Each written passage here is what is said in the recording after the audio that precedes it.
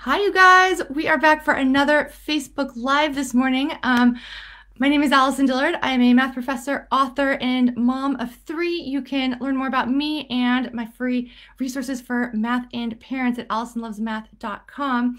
And I'm super excited to um, introduce to you Janice Scholl, our guest for today. Um, she she's moms she's going to come and she's going to help you with career and money and life stuff today, which is balancing a lot of the craziness that we're going through.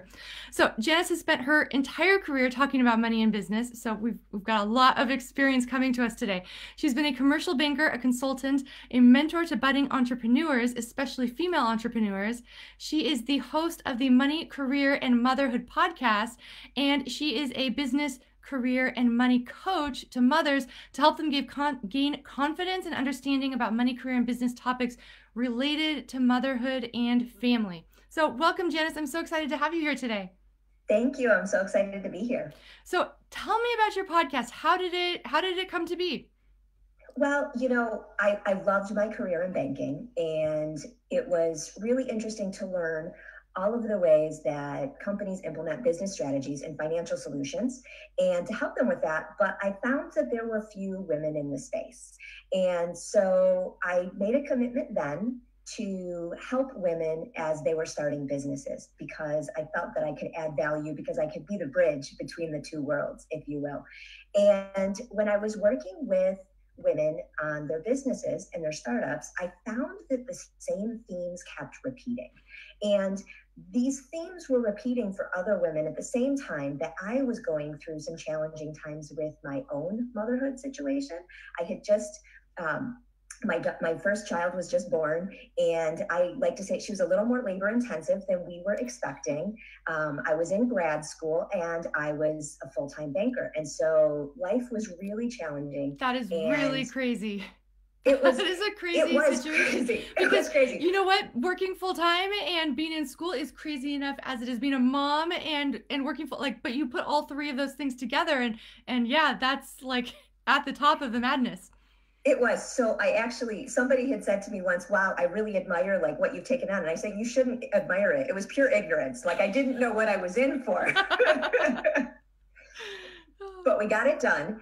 And so these themes kept repeating. So women were saying, hey, we're so excited to have an advisor and a mentor who understands us because we look at things differently than men do, but we need that financial and business expertise. And the other thing was women were starting to talk to me about their businesses and their finances in their business, but then they would start to ask questions about their personal money situation as well. So many women I was finding weren't comfortable with money or business as they relate to their personal or professional professional life. And then women, we don't just start businesses because we want to make money. We often start them because something isn't serving us well in the corporate world. So we're looking to recreate that um, professional engagement for ourselves while doing something a little different that works with our lifestyle. So because of that, uh, you know, the podcast was born because I think it's important to learn all about money and how it affects your life so it can take away the stress and put you back in the driver's seat of your family. Perfect. Oh, that sounds that sounds so helpful. It's something that so many women can benefit from. I think, you know, definitely as you know, as I am sort of starting out, you know, I've just recently started doing Facebook Lives and I just um, recently launched a membership and I have a couple of my very first courses sort of coming up online. I think there's definitely, you know, I'm seeing sort of making that jump from, you know, just um, just teaching and writing, you know, to creating a business. And there's definitely, you know, a need for, there's there's so much to learn at the start i guess is, is sort of the fast thing to say you know and it, it can be a little overwhelming because it's different than it's different than just learning everything in school where there's just a set structure to, to follow and you know exactly what what to learn and when um where it's just sort of it seems like a lot of chaos to to, to work through. It is. It's kind of organized chaos. And sometimes not so organized chaos. But you know there's so much about running a business and starting a business that is complementary to how we should be looking at how to run our families too. Ooh. because right now we're living in a time of unprecedented uncertainty mm-hmm. right and it's in you know when you start a business it's hard sometimes to know what it's so dynamic, right? It's hard Yes. to know what is happening because you did something and what is happening because you just happen to be at the right place at the right time or whether or not something else would have been more effective. So it, it is there's so much to learn and so much to analyze and to figure out, hey, like what's actually working. Right. And and what it, what is maybe a tip that you have for parents or moms who are struggling with that? So when it, for for business, for women who want to start a business, um, I recommend getting out there and doing things. Uh, don't like a lot of us think, okay, well, we want to start a business, and I don't know how to run a business, but I have some skills that I can use um, to to create this business, and they want to get training. They want to get they want to invest in education that will help them. And and there's so much out there that I, t- I want people to just try things out. And I think it's so important for us not to spend a bunch of money trying to create something that you don't even know what works yet. Mm, So yes. it's it's really in today's world and with how fast things are moving, it's experience, but having a goal and a destination point and then slowly adapting as you go through that. And that's what I recommend for everyone with their families right now as well. Like we are we are trying to make decisions for our kids schooling we're trying to make decisions about how we're going to work this next year um, with potentially kids at home again and you know we just we can't make a plan today that says okay well we're going to get there this is the linear path to get there we need to make an approach that says okay well we're going to be really adaptable and we're going to sense check things along the way but this is where we're headed I really like that advice. You know, I think it's very easy for parents to be lost in the chaos and stress of everything that's going on right now. And I love your advice of just where's the destination? Maybe just like take take a little bit of time then, right? To think, you know, what if everything worked out really well this coming fall, right? Like what's in an imperfect school situation, right? What would what would we be happy with, right? In fall to say like, you know what, we pulled this off. We did really well. What is that situation for you?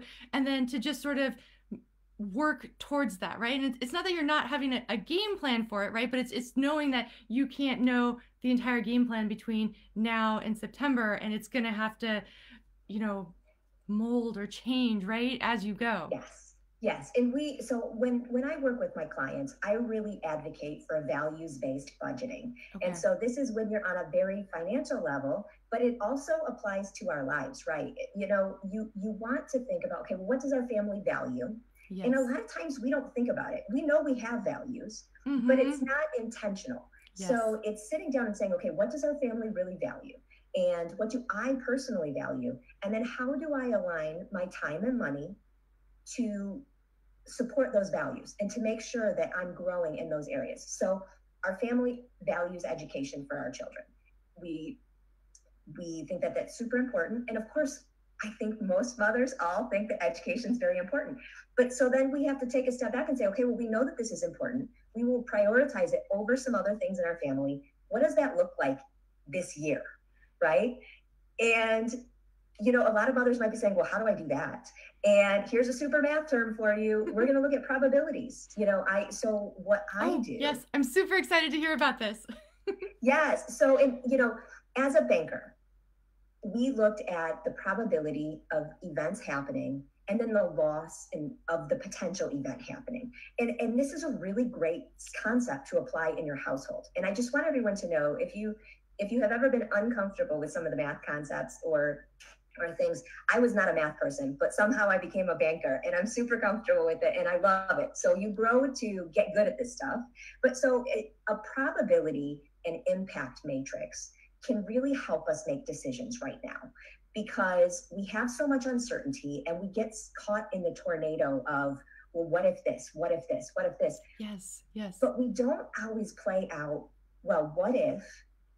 How likely is that? Is Mhm. it really going to happen? And then if it does, what's the next step? What's the impact of that event? So a probability impact matrix matrix is basically saying, okay, what's next? So for school, yes instance, yes yeah um, a parent who is trying to figure out what school is going to look like for their child. Now, many of us have options between remote and in person schooling. But if you choose in person, it's highly likely in today's world that in the fall, maybe during sixth season, our kids could be back working remote for a period of time. Right. So Right. asking yourself what if is a Mhm. good thing to do because it is a high probability that that event will occur. Right. So if that happens, we need to build a strategy for what the impact of that will be on our household. It's going to be different for everyone, right? Mhm. Because some people have a work structure that they have to work around where they have to be in person. Mhm. Uh, some people have more flexibility in their schedule. Mhm. Uh, it depends on the age of your child, but but we need to play it out and use that analysis of what is really the probability, and then if the event happens, how big is the impact? Because sometimes you can even have a small probability of an event, but the impact Impact is so big that we Mhm. need to build a risk mitigator in order to feel comfortable with how we're going to proceed. Yes, I think that's really helpful advice for parents right now because I think it's it's a very easy for parents to get get stuck in the decisions that schools are making right now and to be upset about whatever the decision is and whatever side that you're on. Um, but really, ultimately, that's that's not helpful. I think what, what you're saying is helpful is plan for the different scenarios. You might not want your kids to be at home, but ultimately, you might not have control over that choice. Yes. And so planning for that probability given, you know, depending on where you're at, or it might be anywhere, there's a good probability of it. You know, so even if it's a scenario that you don't like, planning for it will help. And in planning for it, I think will also ease the anxiety of it. If you have yes. thought through well who is going to to watch the kids if i i can't you know or who is going to even if it's just zoom calling with them to, to help who is the the support system in this difficult situation to bring in a support system? And and what happens if we get sick during that scenario? And what happens if we both have to be at work? There are all these really difficult questions and, and scenarios within this and it is helpful to think ahead about that because i know a lot of the stress is coming from not want not wanting to think about it or not knowing what to do in those situations. And the earlier you just tackle that Yes. the faster really the, the stress will diminish a little bit Yet humans have an optimism bias. We know that this stuff happens, but we don't think it happens to us. We don't Mhm. want it to happen to us. And it's almost like by admitting it could, it could be possible, sometimes we feel like we're bringing it on. But the reality is, um, preparing, I, I, we have to prepare, not panic. yes And so we can hope for the best, Mhm. but we need to make sure that we are prepared for the reality of what could be yes and you'll never say, gee, I wish I had planned for this less. yes that's right that's and right. it works for so many different scenarios. You know, there's a lot of people who are underemployed or unemployed or are concerned about their employment status. Mm-hmm. And, you know, thinking through, okay, well, if my if my job is at risk, you know, what could I possibly do if I lose my job today? What other ways can I make money versus waiting until the event happens and hoping that that you don't lose your job? It's it's going to put you in a different position if the event happens. So if you say, okay, well, I know I have these skills and I've worked a little bit freelance in the past and I can just ramp that up, that's super different than saying, I have no idea what I'm going to do. Yes. Yes. No, that's really, really good advice. And there are so many parents right now who are facing that, you know, facing, you know, either uncertainty or unemployment, um, or just being completely overwhelmed with work, which could potentially lead to wanting to make a change as well. So I think it's Yes. That's really good advice. And you know, one other thing that I was thinking of because you were talking about scenarios where it might be a small probability, but the impact is huge. And I was Mhm. having a, a conversation the other day with a, another mom about that, and it's it's that probability of, you know, in the fall, suppose the kids do go back to school, and we do all get COVID, and there there is that small chance that the whole family could get it, and that we as parents get really sick. And you know, I think that was sort of an, an underlying stress that we had that we weren't talking about it or planning Yes. for, um, because you're just trying to like, it's just it's such a nightmare of a situation to think that like, gosh, what if you know me and my husband happen to be the two people who react poorly to it and end up in the hospital? Like, what do you do now with three kids who have been exposed to COVID or might have it themselves. Yeah. Who do you actually ask in that situation for help? Because typically it would be my parents, and there's no way we're sending them over there right now. And Yeah. so I, I will say that it was a very helpful conversation to have and to think about and to sort of plan out. Well, it's an extremely inconvenience thing to ask different you know relatives or friends but who who could we and what would our plan be for that situation?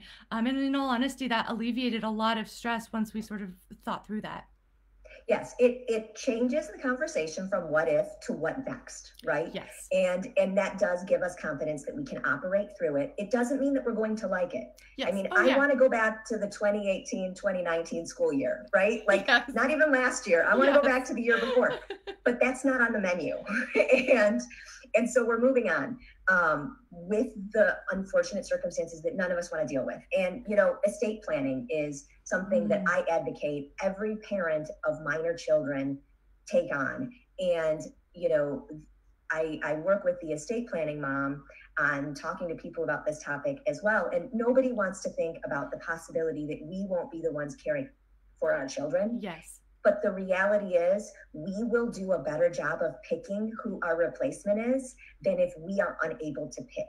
And so, right. putting in place that that contingency plan that we all hope never to use yes. is just it takes one thing off of the list from what if this happens because we don't have to think about it anymore because yes. it is a check the box. We built that strategy. Mm-hmm.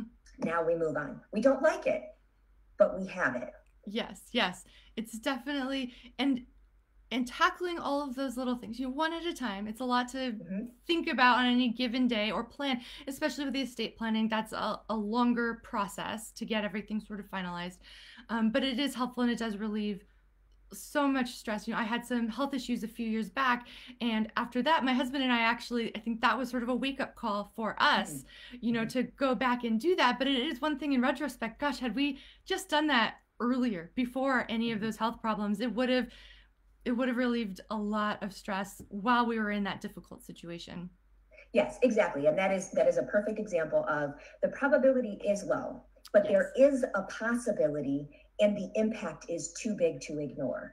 Uh, uh, we had at the beginning of covid my husband had a non-medical or i'm sorry not a non-covid medical emergency and he we could have lost him. And oh, it was it was a moment, it was an instance, and it gave me confidence to be able to focus on him and what was happening in the moment instead of having that what am I going to do if? Yes, worrying moment. about the what if.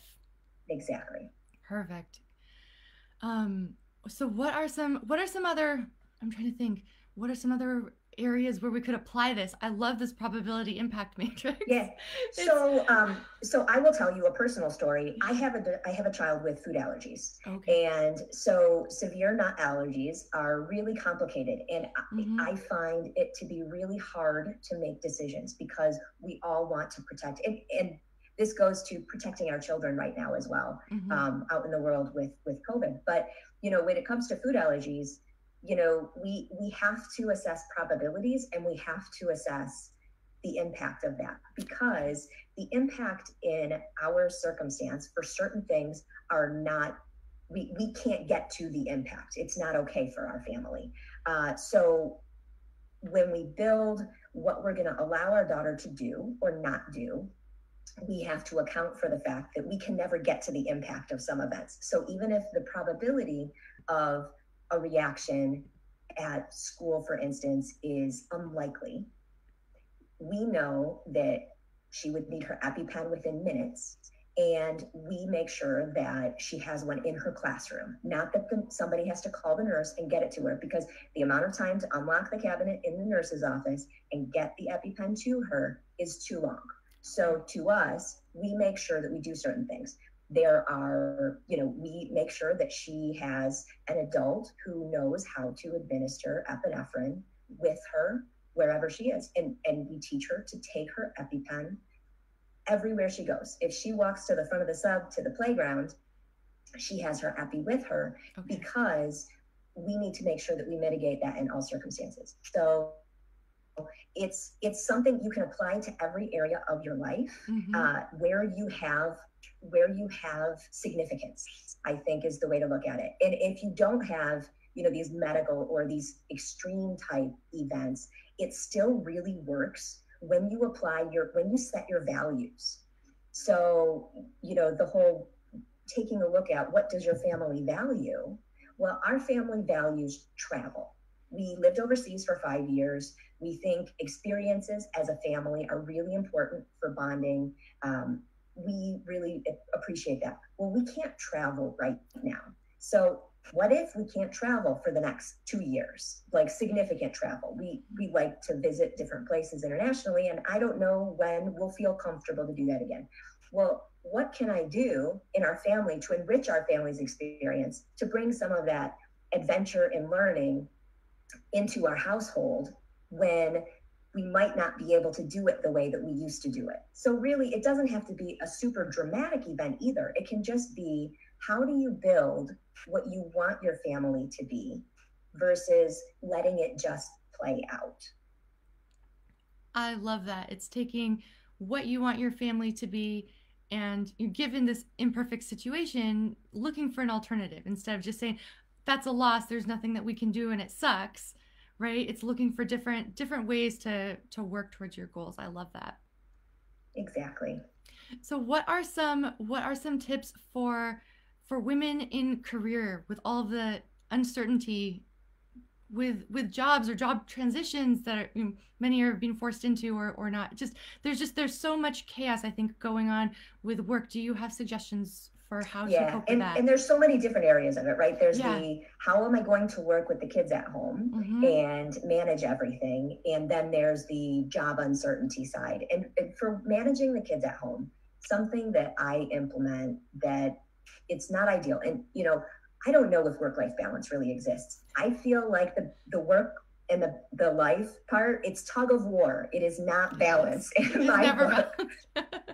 And yeah, like it's it's an aspirational goal, no doubt. But but I think that like viewing it as tug of war, there's always more needed from me than that than I'm available in either place. Yes. And, and so it frees me up from feeling guilty about not being balanced.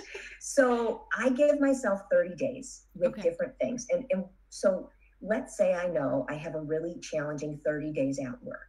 And so I'm going to give myself some freedom and some grace to not be perfect at home. And maybe the kids are going to watch a little bit more TV. Or maybe, you know, we're not going to eat like the most awesome health conscious food we always do during that moment but i know i'm going to make up for it the following month because my focus will be back on a family thing at that time and my work won't be now the first month of school i know it's going to be a tough transition this year so i'm going to schedule my time that my family and my kids really are going to be the priority getting them integrated into school whatever it looks like mm-hmm. is going to be my priority i'm going to schedule myself and give myself the grace to not be awesome at the other stuff.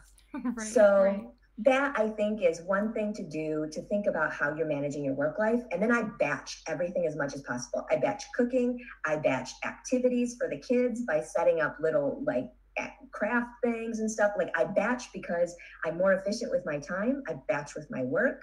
Um, so any way you can look at like hey how can i maximize my time by focusing on this for a period of time and then spreading it out is super helpful when you're trying to balance things at home and with your kids and when it comes to the stress conversations um, conversations with yourself and with your spouse mm-hmm. uh, and you know with your kids too if mm-hmm. you have older kids that are they're feeling when you're not talking to your kids about money you're still teaching your kids about money because they know that things are going on right now mm-hmm. and they're either telling themselves stories to explain what's happening or you're talking to them about it yes yes oh that's such a good point our kids are definitely following everything that we're doing during these difficult times right and there we're teaching them about money during a crisis we're teaching them about how to handle stress during a crisis how to to handle our relationships during crisis. There, there's so many things that they're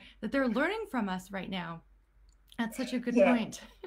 I just picked up something um, in a book I was reading, and it was talking about how you know apprenticeship is so important for kids to learn mm. how to navigate the world outside. And that concept, like the concept of apprenticeship, I was like, what if we looked at parenting as an apprenticeship?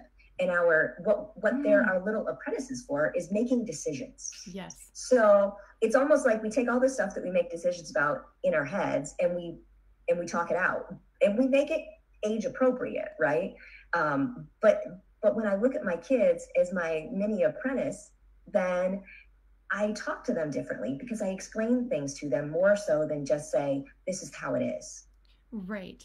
And I think that's a really important thing to remember in terms of finance because I do think we all tend to do that in certain subjects. There's certain subjects that for you know we're just more comfortable talking to our kids about and so they they learn those things more through our conversations but it's the ones it's the topics that we're a little uncomfortable about or unsure about ourselves. And finance is definitely one. I think math is another one that parents struggle with with their kids because they're they're afraid actually to tell their kids that they had struggles with it. Um, and and and to talk about it and talk about you know how they they could have worked through it or maybe how they ultimately did. Um, but those conversations, I think, are specifically really important in the topics that we're uncomfortable talking about.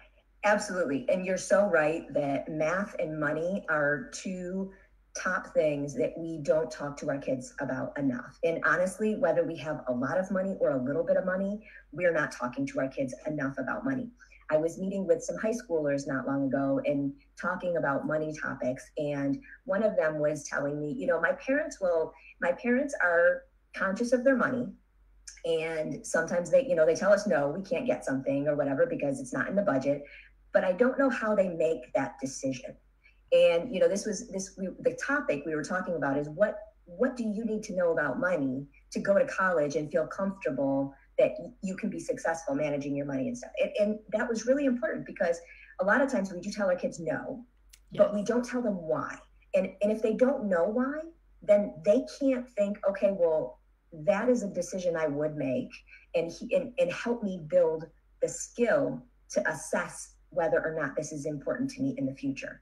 And the reality is, for most families, we cannot have every single thing that we want. So so for people who are uncomfortable talking about money and especially my kids like my kids want everything right but when your kids ask you for something and you are saying no or yes explain to them why yes we idea. can we can buy this we can do this thing because we've saved up enough money we've we've decided that we aren't going to spend it in another area or no we can't spend money on this thing because we are saving for this other thing, or we do have other important things that the money needs to spend, the family needs to spend its money on, it it helps them just say, hey, wait a minute, okay, mom and dad are thinking about this. There's not some oracle at home like hidden that is saying, yes, you can spend money on this. No, you cannot spend money on this. Yes, definitely. And yes, gosh, that's such good advice. And I think if you're if you're afraid to talk to your kids about that because you're not actually even planning and budgeting and thinking about those things and it's just sort of chaos and impulse in the background with the finances. Then a great place to start with that goes back to what you were saying earlier to actually break down the finances and, and look at it. And then once you do that when you take that first step then you have a positive place to start talking to your child about finances. Exactly. You if you practice values based budgeting it almost gives you the answers that you need to start the dialogue. So, and, and what that means is you start by tracking every dollar you spend, every dollar, because all of us forget where our money's going. We operate yes. on autopilot more than we want to. Mm-hmm. And so putting it into categories and saying, hey, wait a minute, my money's going where? Now you can make decisions about what you want your money to be as a tool to support your family. Awesome. Perfect. And as for listeners, if you're watching this, you can check out the Money, Career, and Motherhood podcast to learn so much more about all of these different topics. Absolutely. We'd love to have you. Awesome. So let's see, you have the podcast. And actually, can you um, maybe talk about where people can find you? Because all of this is so fascinating. I'm sure there will be people who want to, to follow up and, and learn more and get more advice. Yep, you can visit my website at www.moneycareermotherhood.com. And I have a Facebook page and Instagram on this at the same name, Money Career Motherhood. And there is also a Facebook community that I would love to have you join so we can continue the conversation and talk about more of the tactical stuff of how do we apply this to our own personal circumstances. Perfect. That's awesome. It's the tactical stuff, the how to's of actually doing it. That is so helpful. So great. Well, thank you so much for coming on. This was this was amazing talking to you this morning, and I appreciate having you on so much. And for everybody watching, have a wonderful day. And if you have questions, always leave them. Even if you're watching um, on replay, feel free to um, leave any questions, and I'll, I'll always check back later. Okay. Have a great day. Bye.